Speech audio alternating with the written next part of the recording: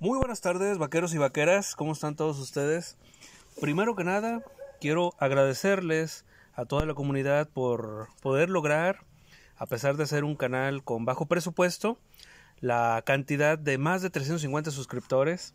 Es para mí un placer enorme tenerlos ustedes, a todos los que comentan, buenos y malos, todo por igual. Todos son bienvenidos, ya me conocen. Tengo por ahí también mi número personal para quien quiera pues hacer alguna sugerencia, algún comentario, igual si quieren que les aconseje de algún producto, con todo gusto. Y pues más que nada también este vamos a comenzar con un con un arranque de, de feliz año para todos ustedes. Comenzamos con este producto que me lo ha prestado un amigo que lo consiguió pues no sé de dónde, pero parece ser que es un producto bastante llamativo. Vamos a ver. Comenzamos con la caja. La caja está rotulada de Bacari, una marca que yo no había oído. Tiene su agarrador para que se use como si fuera una bolsa.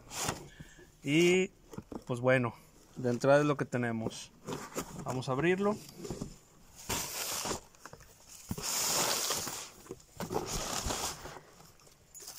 Tenemos por aquí del producto Vemos que no tiene separador, sí tiene bolsa, una bolsa grande. Y lo abrimos por aquí y es una bota en piel de mantarraya. Bien, vamos a verlo. Por abajo, por un lado, tenemos por aquí, pues de entrada, como es el análisis relajado, tenemos un tubo de piel de cabra, tiene piola está bordado. Tenemos buena oreja. Y por aquí tenemos algo de piola en la tirilla. Es plástico y es piola de la gruesa.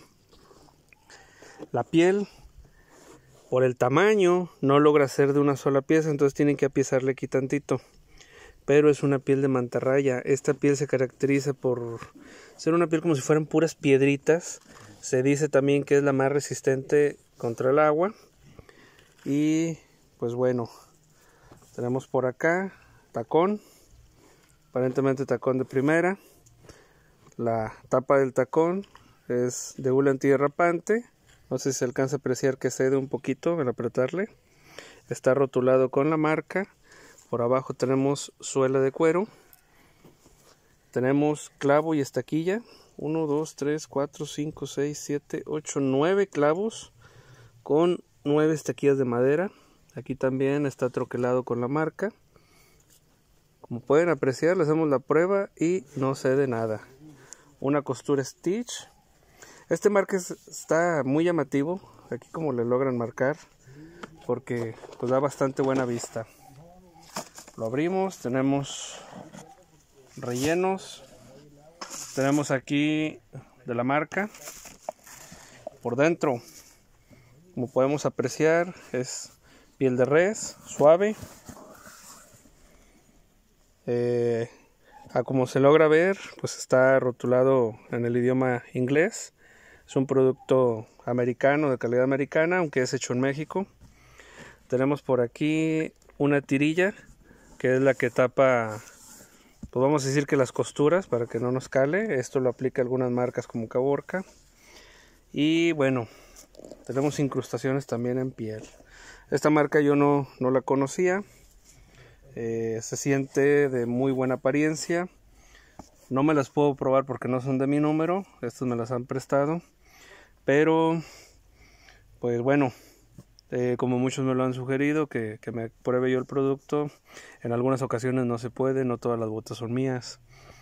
Entonces, por la calidad que se logra apreciar, aunque sea por encima, pues vamos a darle un 9 de 10. Ah, vamos a ponerle un 9 de 10. Sí, porque pues bueno, faltaría saber qué tan cómoda es la bota. Por dentro está todo forrado, hasta la chinela, la plantilla se siente suave. Tiene deslizador por aquí. Y bueno, sin más, recuerden que todo esto es improvisado. Es un canal de bajo presupuesto, ya más adelante iremos mejorando. De momento, pues nuevamente les agradezco por seguirme en el canal. Si les ha gustado el video, denle like, compártanlo para alguien que lo llegue a necesitar.